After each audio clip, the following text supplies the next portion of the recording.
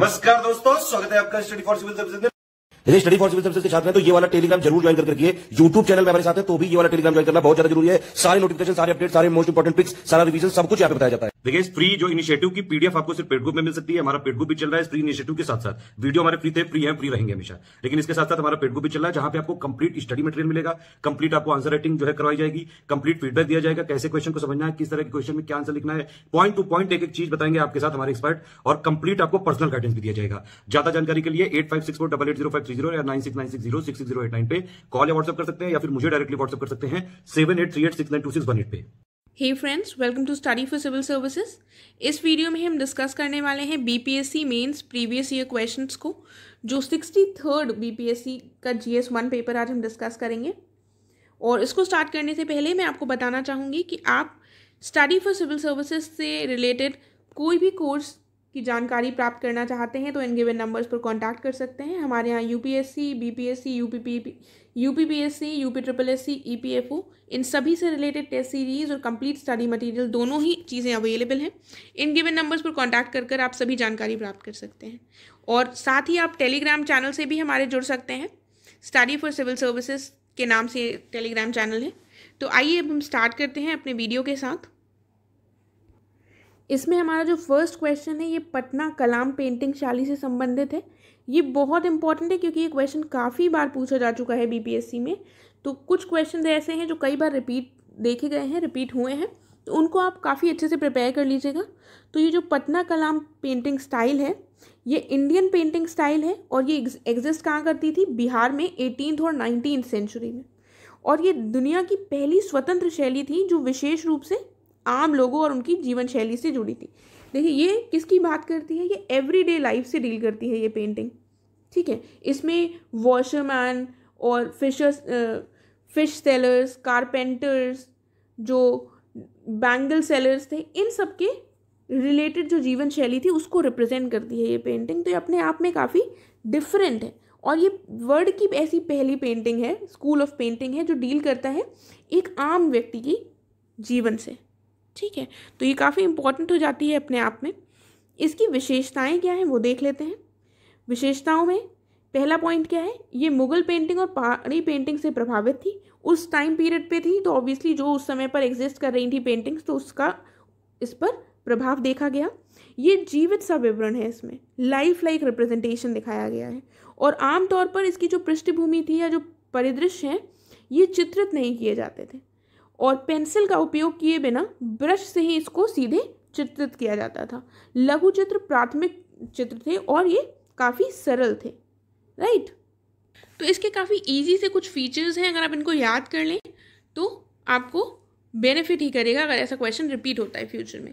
साथ ही इसके कुछ फ़ेमस पेंटर्स थे, उनके नाम भी मैं आपको बता देती हूँ, जैसे सेवक राम हो गए, हुलस लाल हो गए, जयराम दास हो गए, फ़कीर चंद हो गए, और झुमक लाल, नित्यानंद लाल टुन्नी लाल शिवलाल देखिए बहुत सारे नाम नहीं याद करने हैं, लेकिन अगर आप दो तीन नाम याद करते हैं तो उनको आप आंसर में मेंशन कर सकते हैं, ठीक बस उनको मेंशन कर दीजिए तो सही रहता है। इसके साथ ही जो पेंटिंग होती थी, इसके बारे में एक और पॉइंट ये है कि ये जो फीचर्स थे इनके, जो फिगर्स होते थे, बनाए जाते थे, उनके जो, उसमें को कैरेक्टराइज किया जाता था पॉइंटेड नोज़ होती थी उनकी उनकी हैवी आईब्रोज बनाई जाती थी, और काफ़ी पतले दुबले उनके चेहरे बनाए जाते थे। तो इस तरह से ये एक दो फीचर्स आप और इंक्लूड कर सकते हैं। ठीक है? और इसके साथ ही जो मधुबनी पेंटिंग है, वो भी काफ़ी इंपॉर्टेंट है। बिहार की आपको पता है, मधुबनी पेंटिंग्स के बारे में सुना होगा। तो ये पटना कलम जो पेंटिंग है पटना कलाम पेंटिंग इसका मधुबनी पेंटिंग के साथ काफ़ी ज़्यादा कंपटीशन देखा गया है। राइट लेकिन सबसे दुखद बात यह है कि जिस प्रकार जो मधुबनी पेंटिंग है, उनको बढ़ावा मिला वो वर्ड फ़ेमस हो गई, उस प्रकार इन पेंटिंग्स को उतना बढ़ावा नहीं मिला। तो इस तरह को अगर आप पॉइंट इस तरह का लिख रहे हैं तो उसको आप कंक्लूजन में यूज़ कर सकते हैं, सारे फीचर्स अच्छे से लिखने के बाद। इसमें और फीचर्स ऐड कर लीजिएगा। फिर हम देख लेते हैं नेक्स्ट क्वेश्चन हमें यहाँ पर बिहार में संथाल विद्रोह के कारणों और परिणामों की व्याख्या करनी है। आपको पता है, संथाल विद्रोह काफ़ी बार प्रीलिम्स एग्ज़ाम में पूछा जाता है, और इसका ईयर क्या है, देख लीजिए एक बार ध्यान से, अठारह और छप्पन। तो बिहार में इसके हमें कारण और परिणाम बताने हैं। बिहार के संबंध में देख लेते हैं।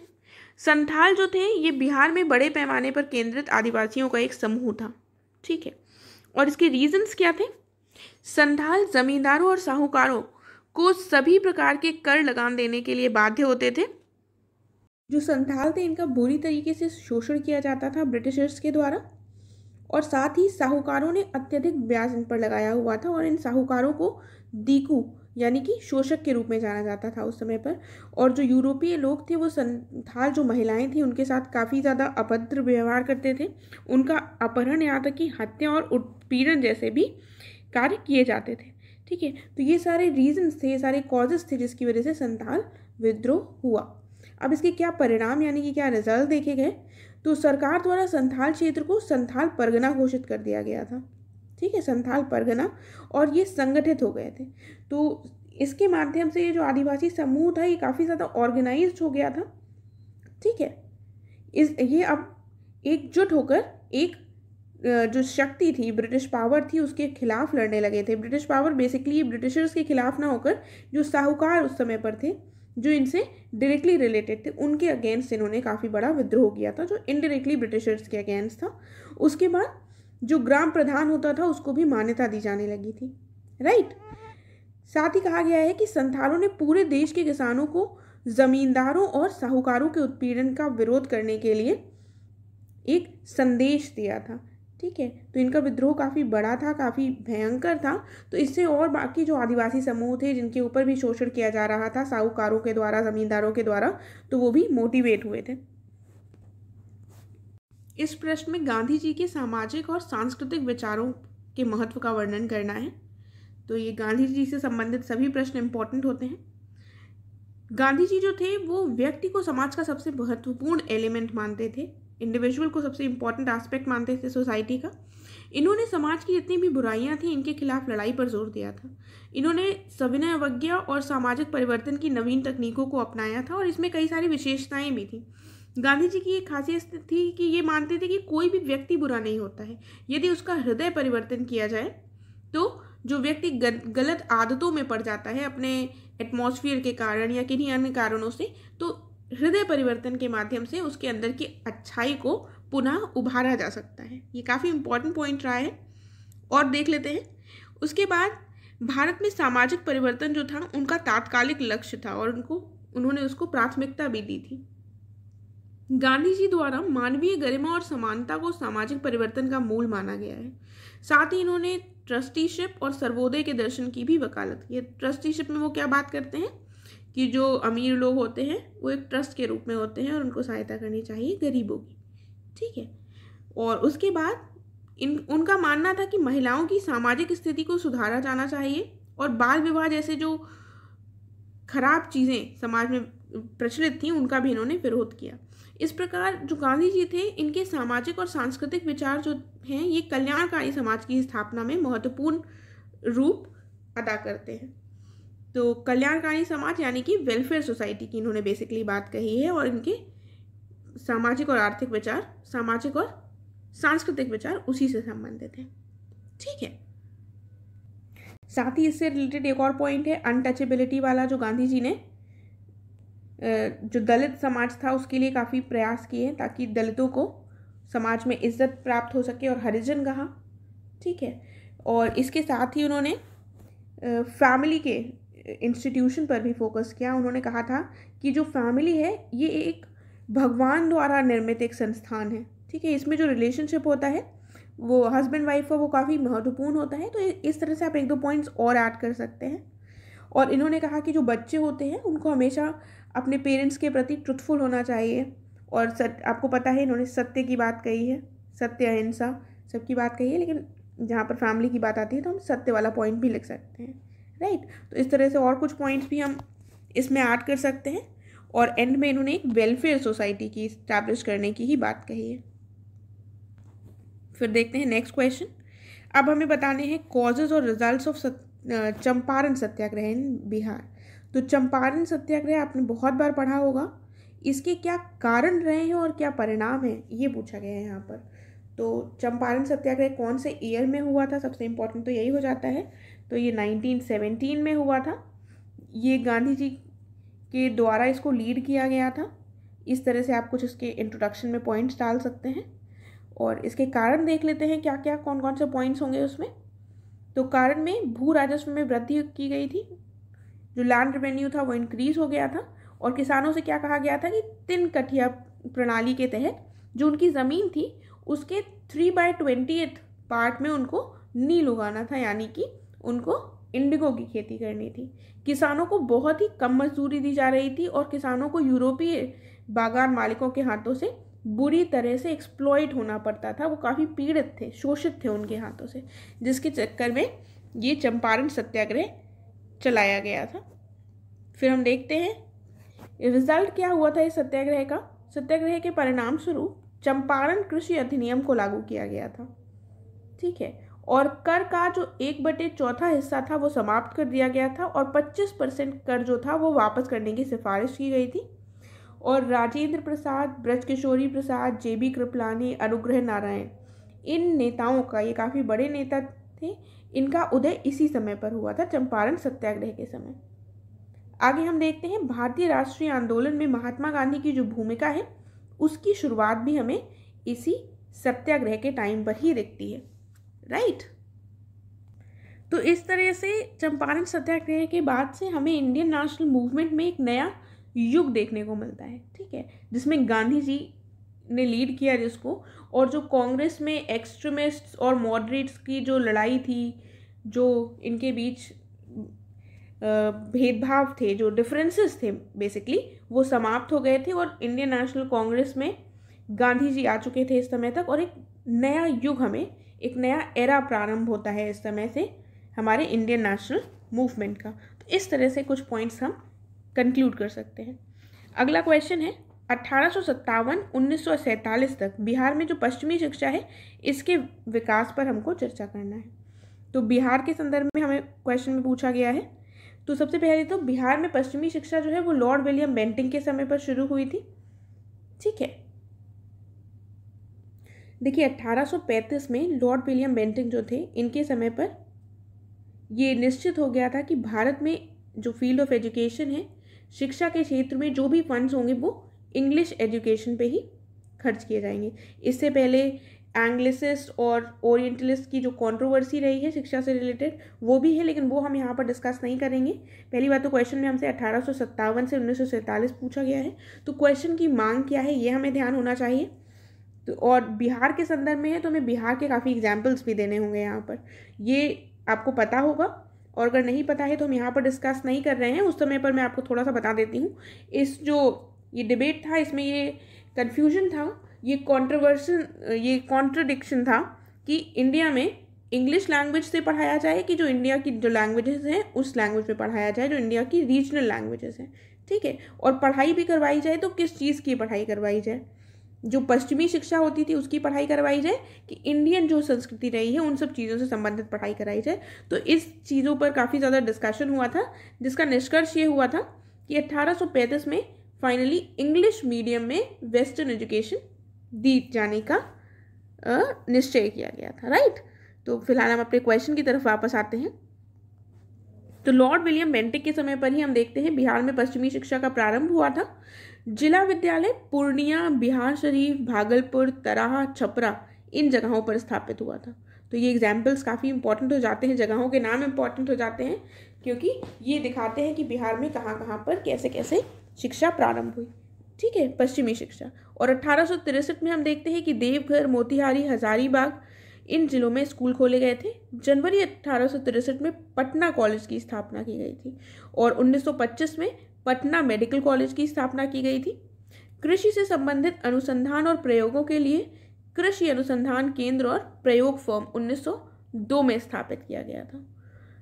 ठीक है, और 1926 में हम देखते हैं कि धनबाद में इंडियन स्कूल ऑफ़ माइंस की स्थापना की गई थी।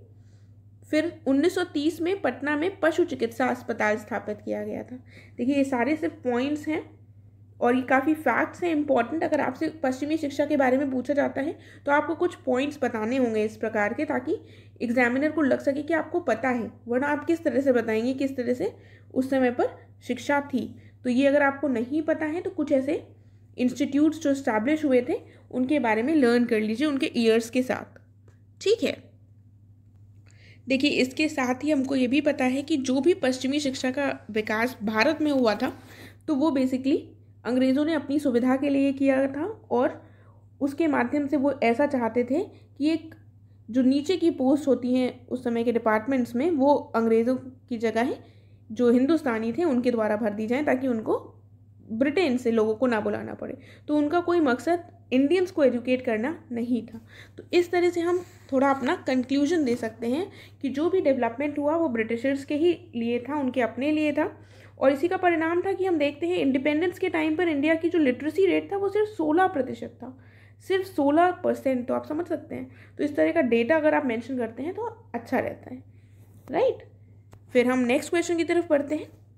हमको कि इसमें हमको बिम्स्टक जो संगठन है उसकी व्याख्या करनी है और साथ ही में इसमें कहा गया है कि जो काठमांडू शिखर सम्मेलन हुआ है हाल ही में, उस पर प्रकाश डालें और भारत के हितों और शिकायतों से संबंधित मुद्दों पर भी हमको इसमें चर्चा करनी है। तो देखिए, काठमांडू शिखर सम्मेलन उस समय पर रेलेवेंट था, आज नहीं है। तो देख लेते हैं, बिम्स्टिक क्या है? बिम्स्टिक का फुल फॉर्म क्या है? सबसे पहले तो ये इंपॉर्टेंट हो जाता है। तो वो है Bay of Bengal initiative for multi sectoral technical and economic cooperation ये 1997 में स्थापित किया गया था। ठीक है और इस समय पर इसमें सात देश इसके सदस्य हैं जो डेढ़ बिलियन लोग जिसमें शामिल होते हैं। कौन कौन से कंट्रीज़ हैं इसमें? तो इंडिया को लेकर सबसे पहले कोई भी ऐसा हो तो इंडिया से अगर आप लर्न करेंगे तो चीज़ें आसान रहती हैं। इंडिया हो गया, नेपाल, भूटान, उसके बाद बांग्लादेश, यहाँ पर आ गया म्यांमार, यहाँ पर आ गया श्रीलंका और थाईलैंड। इस तरह से ये हमारे हो गए हैं सात देश। ठीक है तो थोड़ा सा हमको इंट्रोडक्शन में इसके बारे में व्याख्या देनी है। और ये बैंकॉक जो डिक्लेरेशन था, उसके परिणाम स्वरूप ही स्थापित किया गया था। काठमांडू शिखर सम्मेलन के बारे में हम नहीं डिस्कस करेंगे, लेकिन इसके जो हित हैं और जो शिकायत है, उनके बारे में मैं आपको थोड़ा बता देती हूँ। बिम्स्टिक जो है, ये काफ़ी इंपॉर्टेंट ऑर्गेनाइजेशन के रूप में उभरा है रिसेंट ईयर्स में, क्योंकि आपको पता है कि सार्क जो है, वो असफल दिखाई दे रहा है because of India Pakistan relationships है ना? जिसकी वजह से सार्क की कोई भी समिट भी नहीं हो पाई है। तो हम देखते हैं कि इंडिया ने बिम्स्टेक को काफ़ी इम्पोर्टेंस प्रदान की है। जब हमारे जो प्रधानमंत्री हैं, उन्होंने अपना सेकेंड टर्म में ओथ ली थी तो उस समय पर इन्होंने बिम्स्टेक के जो कंट्रीज़ के नेता थे, उनको इनवाइट किया था। जबकि जब पहली बार ली थी, तब उन्होंने सार्क के लीडर्स को इनवाइट किया था। तो बिम्स्टेक को एक तरह से सार्क के ऑल्टरनेटिव के रूप में देखा जा रहा है। ठीक है? और इससे इंडिया को क्या हेल्प होगी? इंडिया अपने जो नेबरहुड फ़र्स्ट है पॉलिसी उसको भी बढ़ावा दे सकता है और ये साउथ ईस्ट एशिया से कनेक्टेड है बिम्स्टेक तो इसके माध्यम से एक्ट ईस्ट जो इंडिया की पॉलिसी रही है, उसको भी बढ़ावा मिल सकता है और साथ ही इकोनॉमिक डेवलपमेंट को भी बढ़ावा मिल सकता है और चाइना को भी काउंटर कर सकता है इसके माध्यम से भारत। लेकिन इसके संबंध में काफ़ी सारे चैलेंजेस भी देखने को मिल रहे हैं हमें। सबसे बड़ा चैलेंज ये है कि इंडिया और ये जो संगठन है, इसकी जो समिट्स हुई हैं, वो 1997 से लेकर अब तक सिर्फ़ मात्र तीन या चार बार समिट्स हुई हैं। जबकि कोई भी अगर इंपॉर्टेंट ऑर्गेनाइजेशन है तो उसकी समिट्स होती रहनी चाहिए। तभी उसका, उसकी इम्पोर्टेंस बनी रहती है। और दूसरा जो एक और इंपॉर्टेंट पॉइंट है, वो जो मेंबर स्टेट्स के रिलेशंस हैं। रिसेंटली हमने देखा है, नेपाल और इंडिया के बीच में जो रिलेशंस हैं, वो काफ़ी ख़राब हो गए हैं। ठीक है। और जो बायोलेट्रल रिलेशंस हैं बेसिकली और इसके साथ ही जो एफटीए होता है, यानी कि फ्री ट्रेड अग्रीमेंट उसकी बातें 2004 के लगभग हुई थी कि हम फ्री ट्रेड अग्रीमेंट साइन करेंगे इस ऑर्गेनाइजेशन के द्वारा, इसके मेंबर्स के बीच में, लेकिन उसके संबंध में कोई भी कंक्लूजन अभी तक नहीं निकाला गया है। तो ये सारे कुछ इसकी, उससे संबंधित शिकायतें और हित जो हो सकते हैं इंडिया के, वो मैंने यहाँ पर डिस्कस कर लिए हैं। नेक्स्ट देख लेते हैं, कुछ करंट अफेयर्स से रिलेटेड प्रश्न हैं, वो लिखे हैं यहाँ पर। इनको मैं एक बार पढ़ देती हूँ ताकि आपको थोड़ा आइडिया लग जाए किस तरह के क्वेश्चन पूछे जाते हैं। तो पहला क्वेश्चन है, रोहिंग्या संकट से संबंधित, इसकी हमें आलोचनात्मक व्याख्या करनी है। और इसमें म्यांमार, चीन, भारत, बांग्लादेश की क्या भूमिका रही है, सब बताना है। साथ ही रोहिंग्या शरणार्थियों के संबंध में मानव अधिकारों के उल्लंघन पर भी हमको प्रकाश डालना है। उसके बाद टू प्लस टू संवाद, ये काफ़ी इंपॉर्टेंट रहा है और प्रिलिम्स में भी पूछा गया है। टू प्लस टू क्या होता है? डिफेंस मिनिस्टर और फॉरेन मिनिस्टर जो होते हैं किसी कंट्री के, दोनों कंट्रीज़ के बीच में, इन दोनों जो मिनिस्टर्स होते हैं, इनके बीच में वार्ता होती है। भारत और ईरान के द्विपक्षीय संबंधों के संदर्भ में भारत और अमेरिका के बीच टू प्लस टू जो संवाद है, उसको स्पष्ट करना है। तो यहाँ पर एक इंपॉर्टेंट क्वेश्चन ये बनता है। एक बार किसी एग्ज़ाम में भी पूछा गया था शायद कि इंडिया कौन कौन से ऐसे कंट्रीज़ हैं जिनके साथ टू प्लस टू संवाद करता है? तो वो कौन कौन से कंट्रीज़ हैं? तो ये है इंडिया के साथ करने वाले कंट्रीज़ जो हैं, वो हैं यूएसए जापान और ऑस्ट्रेलिया ठीक है? तो ये मेनली ये तीन कंट्रीज़ हैं जिनके साथ India two plus two dialogue conduct करता है। इसके बारे में हमें बताना था यहाँ पर कि जो ईरान से संबंधित बायोलेट्रल रिलेशंस हैं, उसके संबंध में इंडिया और यूएस के बीच में टू प्लस टू डायलॉग में क्या बात हुई थी? फिर एनआरसी विभाग नेशनल रजिस्टर ऑफ़ सिटीजन्स इसके बारे में हम क्या जानते हैं, ये पूछा गया है।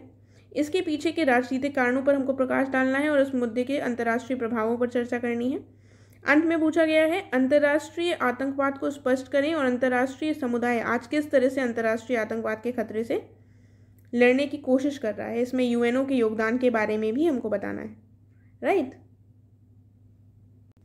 देखिए, अगर अंतर्राष्ट्रीय आतंकवाद से संबंधित प्रश्न आता है तो सबसे पहले हमें ऐसे में क्या करना होता है? हम आतंकवाद, जो टेररिज्म है, उसको हम थोड़ा सा डिफाइन करें, ठीक है? बताएँ कि वो क्या होता है? वो टेरर क्रिएट करता है मासेस में, ठीक है? और इसका पॉलिटिकल रिलीजियस कुछ भी एम हो सकता है इसका। उसके बाद हमें थोड़ा जो जो टेररिस जो टेररिज्म से रिलेटेड जो भी ऑर्गेनाइजेशंस रहे हैं, जैसे अलकायदा हो गया बोको हरम हो गया आइसिस हो गया, इनके एग्जाम्पल्स दीजिए, ये कब एग्जिस्टेंस में है, बस थोड़ा दो तीन लाइन में। उसके बाद टेररिज्म के क्या क्या फॉर्म्स हैं? तो जैसे एक हो गया स्टेट स्पॉन्सर्ड टेररिज्म जो इंडिया में देखने को मिलता है, पाकिस्तान के द्वारा, जो कश्मीर में करवाया जाता है। ठीक है? एक दूसरा हो गया एक रिलीजियस टेररिज्म किसी बेसिकली रिलीजन को बढ़ावा देने की बात करते हैं, या वो रिलीजन से संबंधित होता है। दूसरा एक हो गया क्रिमिनल टेररिज्म ठीक है? तो इस तरह से इनके बारे में हम बताएँगे थोड़ा थोड़ा उसके बाद यूएनओ की जहाँ पर बात आती है तो यहाँ पर यूएनओ पूछा गया है यूएनओ का क्या योगदान रहा है? तो 2006 में हम देखें तो यूएनओ ने क्या किया था? जन यूएनओ ने जनरल असेंबली में ग्लोबल काउंटर टेररिज्म स्ट्रैटेजी को अपनाया था, जो बेसिकली इस अंतर्राष्ट्रीय आतंकवाद से लड़ने के लिए लाई गई थी। ठीक है तो इस तरह से कुछ पॉइंट्स देकर हम कंक्लूड कर सकते हैं कि क्या चैलेंजेस हैं और उसके बाद क्या प्रेजेंट सिचुएशन है। ठीक है तो इसके साथ हमारा ये कंप्लीट हुआ। थैंक यू सो मच हम मिलते हैं नेक्स्ट लेसन में।